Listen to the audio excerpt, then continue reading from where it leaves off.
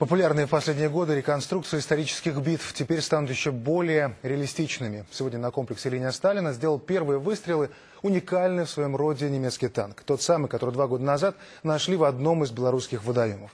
Ну, признаться, тогда, делая репортаж об этом, на машину смотрели как на груду металлолома. А оказалось зря. Силами реставраторов он встал в один ряд с другими стальными очевидцами Второй мировой. Репортаж Юрия Шевчука.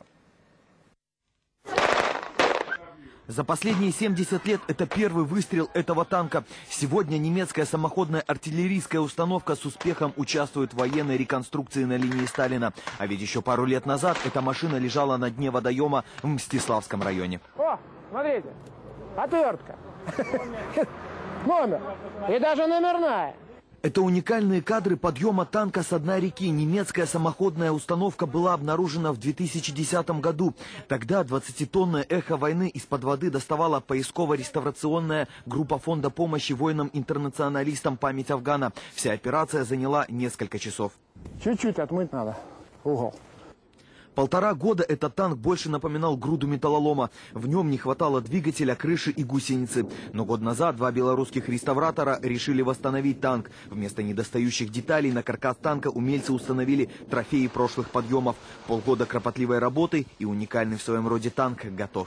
11 ноября этого года, ну, как мы... Может, еще сдали не- ее в эксплуатацию. Вот э, сегодня полная уже сдача. В принципе, еще, как видите, ничего не подвело.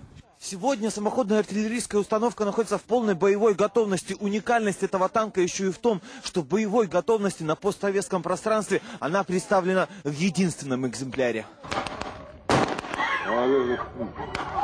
Взрывы, выстрелы, штурм немецких солдат и оборона советских войск – все это в самых ярких красках было воплощено в реконструкции на линии Сталина. Настоящим украшением сегодняшней постановки стало самоходное орудие «Штурмгершутц».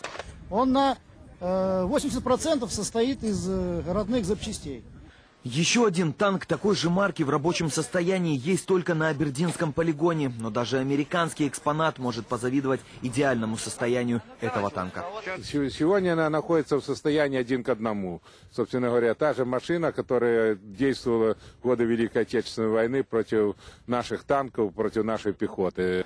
Сегодняшняя военная реконструкция стала лишь презентацией самоходной артиллерийской установки «Штурмгешут».